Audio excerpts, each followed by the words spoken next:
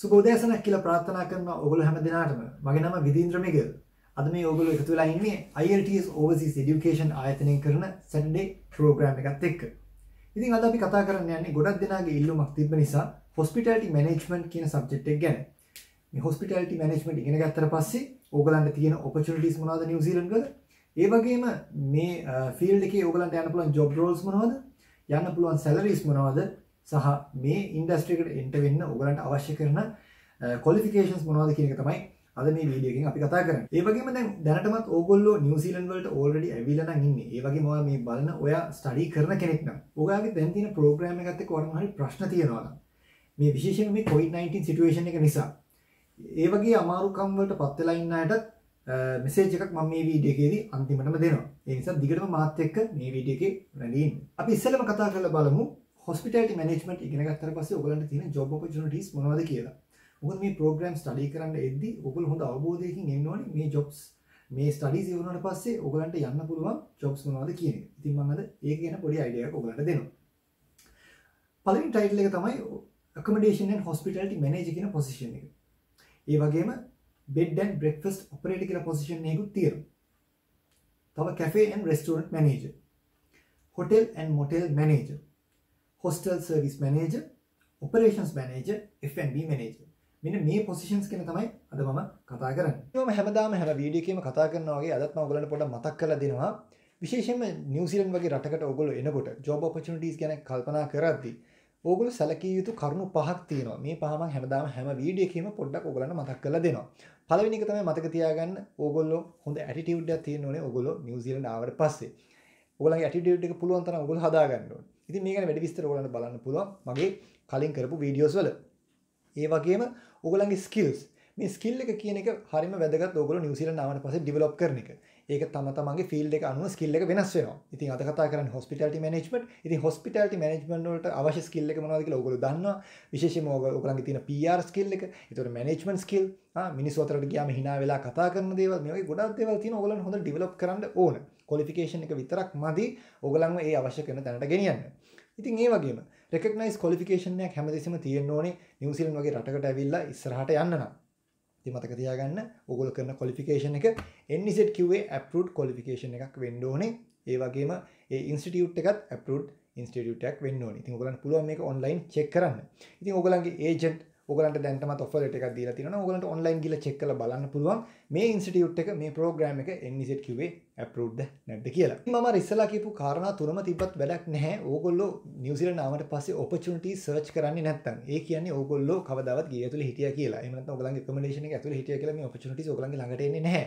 ඉතින් මම හැමතිස්සෙම කියනවා opportunities හොයාගෙන අපි එළියට යන්න ඕනේ. ඉතින් මගේ පරණ වීඩියෝස් බැලුවොත් ඔයගලන්ට තේරෙයි මම මොකද්ද මේ කියන්නේ කියලා. ඒ වගේම තමයි follow up කරන එක. හැමතිස්සම ජොබ් එකට යද්දී ඔයගොල්ලෝ ඒක ජොබ් එකට ඇප්ලයි කරාට පස්සේ ඒක ෆලෝ අප් කරන්න ඕනේ. ඒ ජොබ් එක ගත්තට පස්සෙත් ඇත්තටම කිව්වොත් ඔයා මේ ෆලෝ අප් කියන එක සෑහෙන වැදගත් වෙනවා. ඉතින් මේ මේ කියපු කාරණා සෑහෙන වැදගත් වෙනවා ඔයගොල්ලන්ගේ කරියර් එක ඩෙවලොප් කරගෙන ඔයගොල්ලන් ඉදිරියෙන් ඉදිරියටම යන්න. ඉතින් මම හිතුවා පොඩ්ඩක් ඔයගලන්ට පොඩි අයිඩියා එකක් ලබා දෙන්න මේ ලංකාව තින හොස්පිටල්ට ඉන්ඩස්ට්‍රිය එකයි නිවසිලන් හොස්පිටල්ට ඉන්ඩස්ට්‍රික තියෙන වෙනස්කම මොකක්ද? මේක එක වගේ පොඩි අයිඩියක් ඔගලන්ට දෙන්නමක දෙම හිතන ඔගලන් ඩිසිෂන් එකක් ගන්න එක ලේසිවේ කියලා. ඉතිං ඔගල දන්න හොස්පිටල්ටි කියන එක පැත්තෙන් ඉස්සරහමින් රටක් තමයි ලංකාව කියන්නේ.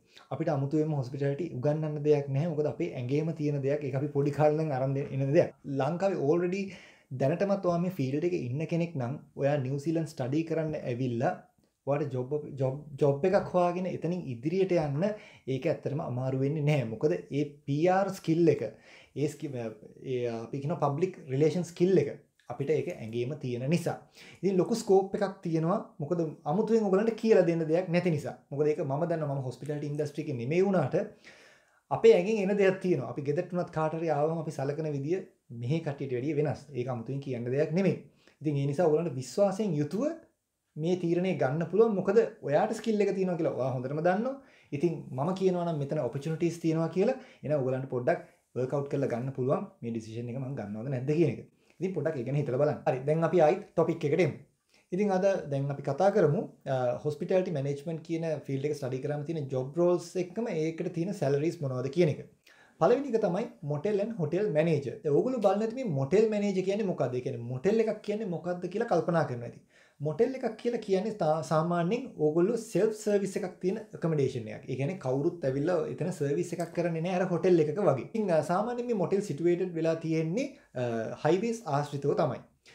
දැන් ඔගොල්ලෝ දන්නවා දැන් අ, ලංකාවට මොටෙල් අලුත් වුණාට මේ නිව්සීලන්ඩ් වලට මොටෙල් අලුත් නෑ. මොකද හේතුව නිව්සීලන්ඩ් කියන්නේ ලොකු රටක්. ගොඩක් වෙලාවට අපි ට්‍රැවල් කරනකොට අපිට සමහරක් වෙලාවට රැයක් දෙකක් නවතින්න වෙන වෙලාවල් තියෙනවා. ඒ වගේ වෙලාවට මොටෙල් එක නවතින එක තමයි හොඳම දේ. ඉතින් මේක හරිම ෆේමස් දෙයක් නිව්සීලන්ඩ් වල. ඉතින් ඒ වගේ මොටෙල් එකක් මැනේජ් කරන එක්කෙනාට තමයි අපි කියන්නේ මොටෙල් මැනේජර් කියලා. සාමාන්‍යයෙන් ඔය මොටෙල් මැනේජර්ගේ පොසිෂන් එක හම්බුනාම එයාට මොටෙල් එක ඇතුළෙම එයාගේ accommodation හම්බ වෙනවා ෆ්‍රී ඉන්න.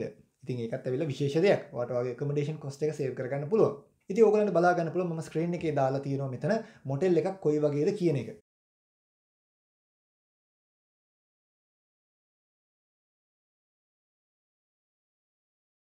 ඉතින් සාමාන්‍යයෙන් මේ මොටෙල් හරි එහෙම නැත්නම් හොටෙල් මැනේජර් කෙනෙක්ගේ සැලරි එකක් කියන්නේ 40000 නිව්සීලන්ඩ් ඩොලර්ස් වලින් පටන් ගත්තාම 200000 නිව්සීලන්ඩ් ඩොලර්ස් වෙනකන් යනවා. ඉතින් හැබැයි 200,000 කියන සැලරි එකට එකපාරට යන්න බෑ කෙනෙක්ට. සාමාන්‍යයෙන් ඕගොල්ලෝ මගෙන් ඇහුවොත් එimhe ඇත්තටම මිගෙල් යන්න පුළුවන් ඇවරේජ් සැලරි එක මොකද්ද කියලා ඔය කියපු ගානේ 40000ත් 65000ත් අතර ගාණක් අනිවාර්යෙන්ම යෑමේ හැකියාව තියෙනවා මැනේජර් කෙනෙක් විදියට.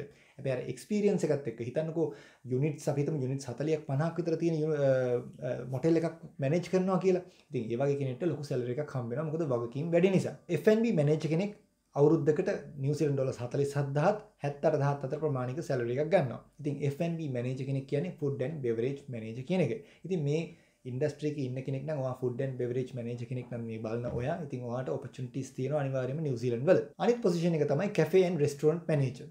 ඉතින් cafe and restaurant manager කෙනෙක් සාමාන්‍යයෙන් නිව්සීලන්ඩ් ඩොලර්ස් 40000ත් 70000ත් අතර ප්‍රමාණික සැලරි එකක් අවුරුද්දකට earn කරන්න පුළුවන්. ඒ වගේම ඔපරේෂන්ස් මැනේජර් ඔපරේෂන්ස් මැනේජර් කෙනෙක්ටත් පුළුවන් 45000 79000 අතර ප්‍රමාණයක් අවුරුද්දකට earn කරන්න නිව්සීලන්ඩ් ආවට පස්සේ. ඉතින් මම මේ කියපු හැම සැලරි රේන්ජ් එකකටම යන්න ඕගොල්ලෝ අනිවාර්යයෙන්ම එක්ස්පීරියන්ස් එක අරගෙන මේ කල්චර් එක ඉගෙනගෙන ඕගොල්ලන්ගේ ස්කිල් එක පාවිච්චි කරලා තමයි හැමතිස්සෙම ඕගොල්ලන්ගේ කරියර් එක ඩෙවලොප් කරගන්න ඕනේ. මේ හැමදේම සක්සස් කරගන්න වැදගත්ම දේ තමයි ඕගලන් මේ අර මං ඉස්සලා කියපු අර PR ස්කිල් එක කියන එක. අපි අර ඇඟෙන් මෙන දේ තියෙන්නේ. අන්න ඒක තමයි ඕගලන්ව මේ අවශ්‍ය කරන තැනට ගෙනියන්නේ. දැන් අපි බලමු මේ ඉන්ඩස්ට්‍රි එකට ඇතුල් වෙන්න අවශ්‍ය කරන ක්වොලිෆිකේෂන්ස් මොනවද කියන එක. ඉතින් ඔයා O level ඉවර කරලා ඉන්න. එහෙම නැත්නම් A levels ඉවර කරලා ඉන්න කෙනෙක් නම් ඕගලන්ට ඉස්සෙල්ලම කරන්න පුළුවන් දේ තමයි New Zealand Diploma in Hospitality Management කියලා ප්‍රෝග්‍රෑම් එකක් තියෙනවා. මේක level 5, level 6 විදිහට තමයි යන්නේ. ඉතින් මේ ප්‍රෝග්‍රෑම් එක කරන්න සාමාන්‍යයෙන් ඕගොල්ලෝ ඇත්තටම ෆන්ඩ්ස් පෙන්වන්න ඕනේ 7.5 මිලියන් වත් ඒ කියන්නේ ලක්ෂ 75ක්වත් ශ්‍රී ලංකා මුදලෙන් ඕගොල්ලෝ ෆන්ඩ් එකක් විදිහට පෙන්වන්න ඕනේ මේ ප්‍රෝග්‍රෑම් එකට ඇප්ලයි කරනවා නම්. ඒ වගේම ඔයගලන්ට පුළුවන් අවශ්‍ය නම් Bachelor of Applied Hospitality and Tourism Management වගේ ප්‍රෝග්‍රෑම් එකකටත් ඇප්ලයි කරන්න. මතක තියාගන්න මේ වගේ ප්‍රෝග්‍රෑම් එකකට ඇප්ලයි කරනකොටත් ඔයගලන්ට අඩුම තරමේ ලක්ෂ 75ක්වත් ෆන්ඩ්ස් පෙන්වීමේ හැකියාව තියෙන්න ඕනේ. ඉතින් මම මීට කලින් මගේ වීඩියෝස් වල ෆන්ඩ්ස් ගැන කතා කරලා තියෙනවා කොහොමද ෆන්ඩ්ස් පෙන්වන්නේ කියලා. මම අද මේ වීඩියෝ එකේදී ඔක්කොම විස්තර කතා කරන්න යන්නේ නැහැ. නමුත් ඕගලන්ට ප්‍රශ්නයක් තියෙනවා නම් අහන්න ඕගලන්ට පුළුවන්. මෙතන කමෙන්ට් සෙක්ෂන් එකේ දාන්න. ඒ වගේම ඕගලන්ට පුළුවන් අපිව කෝල් කරලා අපේ කන්සල්ටන්ට් කෙනෙක්ට කතා කරලා මේ ගැන වැඩි විස්තර දැනගන්න. ඒතර ඕගලන්ගේ තියෙන ඔක්කොම ඩවුට්ස් ටික අයින් කරගන්න පුළුවන්. ඒ වගේම තව කෝස් එකක් තමයි ඕගලන්ට කරන්න පුළුවන් Bachelor of Applied Hotel Management කියන එක. නැත්නම් තියෙනවා Bachelor of Hotel Management කියලා programs. ඉතින් මේ වගේ ප්‍රෝග්‍රම් ප්‍රෝග්‍රම්ස් වලට ඇප්ලයි කරන්න පුළුවන් ඕගලන්ට ඕගලන්ගේ A levels ඉවර වුණාට පස්සේ. ඒ වගේම තමයි bachelor degree එකක් complete කරලා තියෙන කෙනෙක් නම් already ඔයාට පුළුවන් graduate diploma in hospitality innovation කියන ප්‍රෝග්‍රෑම් එක ස්ටඩි කරන්න. මේක ඇත්තටම හොඳ ප්‍රෝග්‍රෑම් එකක්. මේක ස්ටඩි කරන්න තියෙන එක අවුරුද්දයි. සාමාන්‍යයෙන් ලක්ෂ 45ක් වගේ ප්‍රමාණයක් ඕගලන්ට ෆන්ඩ්ස් පෙන්වන්න පුළුවන් නම් ඔයාට මේ ප්‍රෝග්‍රෑම් එක කිරීමේ හැකියාව තියෙනවා. මේ මතක තියාගන්න ඕගලන්ට මේකට ඩිග්‍රී එකක් අවශ්‍ය වෙනවා. හැබැයි මේ graduate diploma ප්‍රෝග්‍රෑම් එකට ඔයගොල්ලෝ ඇප්ලයි කරනවා නම් මතක තියාගන්න දෙදස් විසියකේ පෙබරවාරි මාස ඉන්ටෙක් එකට ඔගොලු ඇප්ලයි කරන්න ඕනේ. එකන දැන් මේ එන පෙබ්‍රවාරිවල් ඉතින් ඒ නිසා ඔගොලු දැම්ම මේ ප්‍රොසෙස් එක පටන් ගන්න ඕනේ. මොකද 2021 දෙසැම්බර් 31කින් පස්සේ ඔගොල්ලෝ දන්නවා පෝස්ට් ස්ටඩි රූල් චේන්ජ් එකක් වෙනවා. ඉතින් ඒක උනාට පස්සේ ඔයගලන්ට පෝස්ට් ස්ටඩි වර්ක් වීසා හම්බ වෙන්නේ එක අවුරුද්දයි. ඉතින් තාම දැනට ගවර්න්මන්ට් එක කියලා නැහැ මුකුත් චේන්ජස් කරනවාද කියලා. ඒකට මේ COVID-19 නිසා. ඉතින් ඒ ගැන කරොත් අපි අනිවාර්යයෙන්ම ඔයගලන්ව දැනුවත් කරන්න.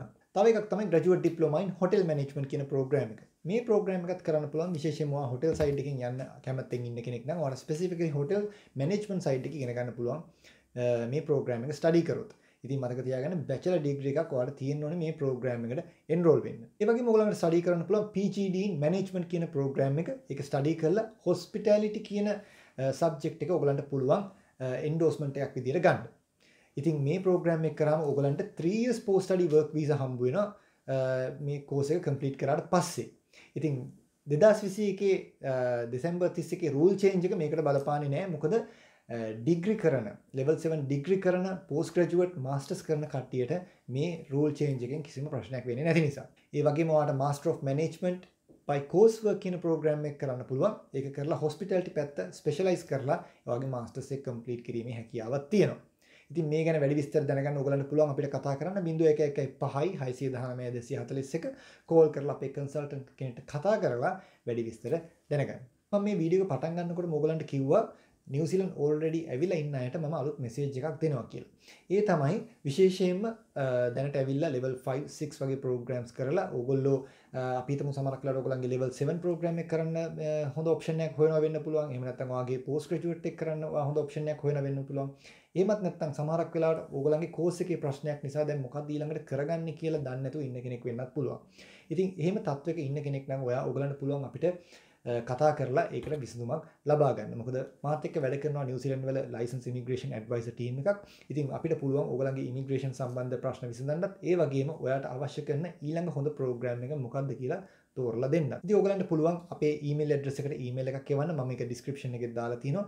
info@iltsoverseas.org. ඒ ඊමේල් ඇඩ්‍රස් එකට ඕගලන්ගේ ඉන්ක්වයරි එක දාන්න.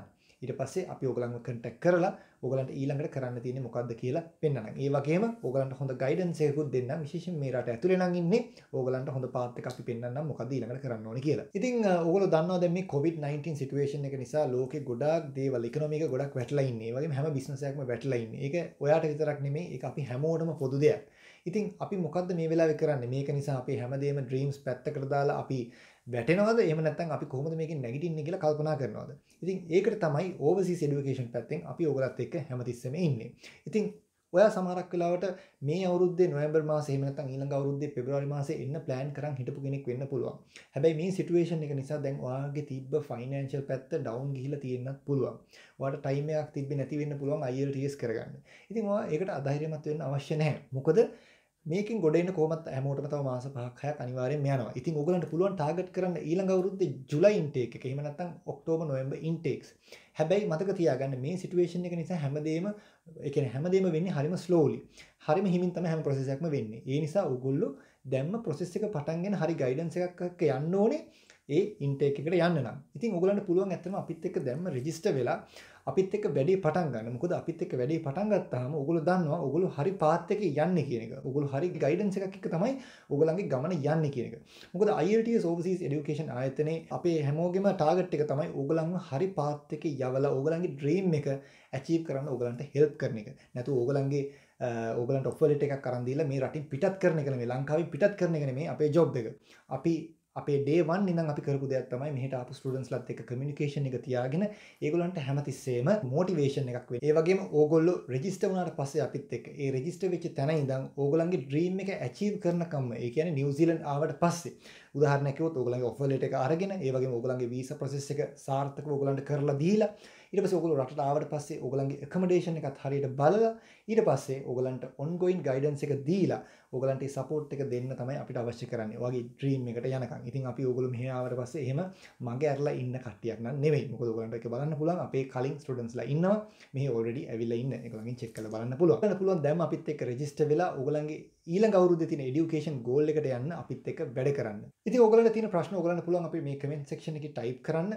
ඉතින් අපිට දෙන්න පුළුවන් උත්තර තියෙනවා නම් අපි ඕගලන්ට ඒක රිප්ලයි කරන්න. හැබැයි ලොකු උත්තරයක් ටයිප් කරන්න තියෙනවා නම් අපිට පුළුවන් අපි ඕගලන්ට මෙන්ෂන් කරන්න අපිව කන්ටැක්ට් කරන්න කියලා. මොකද පර්සනලි ඕගලන්ට හිතෙනවා නම් අපිට කතා කරලා ඕගලන්ගේ කේස් එක ගැන වෙනම දැනගන්න ඕනේ කියලා අපිට කෝල් කරන්න 0115 619 241 කියන නම්බරේ. ඒක මේ ස්ක්‍රීන් එකේ පල්ලේ වැටලා තියෙනවා. ඉතින් අපි කන්ටැක්ට් කරාට පස්සේ ඕගලන්ට පුළුවන් අපේ ෆ්‍රී කන්සල්ටේෂන් එකක් ඕගනයිස් කරගෙන ඕගලන්ගේ තියෙන ඔක්කොම ඩවුට්ස් ටික ක්ලියර් කරගන්න ඒ කන්සල්ටේෂන් එකේදී. ඊට පස්සේ ඔයගොල්ලෝ හිතනවා නම් ඔයගලන්ට අපිත් එක්ක වැඩ කරන්න ඕනි කියලා. ඒතර ඔයගලන්ට පුළුවන් අපිත් එක්ක රෙජිස්ටර් වෙලා ඔයගලන්ගේ මේ ස්ටෙප් බයි ස්ටෙප් ප්‍රොසෙස් එක යන්න ඔයගලන්ගේ ඩ්‍රීම් එක ඇචීව් කරනකම්. ඉතින් මම මේ වෙලාවේදී ඔයගලන්ට ආයිත් මතක් කරනවා අපේ ලංකාවේ ඔෆිස් එක වගේම අපේ නිව්සීලන්ත තියෙන ඔෆිස් එක ගැනත්. ඉතින් ඔයගොල්ලෝ already නිව්සීලන්ත දැන්ට ඇවිල්ලා නම් ඉන්නේ. ඔයගලන්ට පුළුවන් අපේ නිව්සීලන්ත ඔෆිස් එක contact කරන්න මේ පල්ලෙහා තියෙන email address එක හරහා.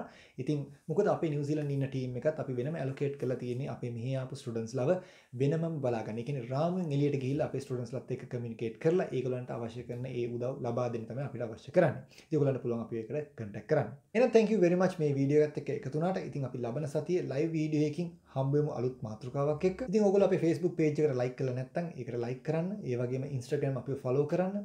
ඉතින් අපේ YouTube channel එකටත් subscribe කරන්න අමතක කරන්න එපා.